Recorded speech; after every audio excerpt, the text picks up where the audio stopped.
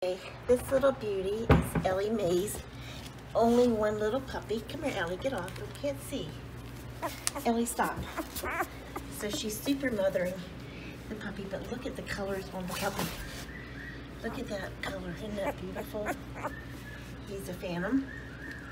So he's going to be a little doodle phantom. He's got brown underneath his tail, brown around his eyes. There you go.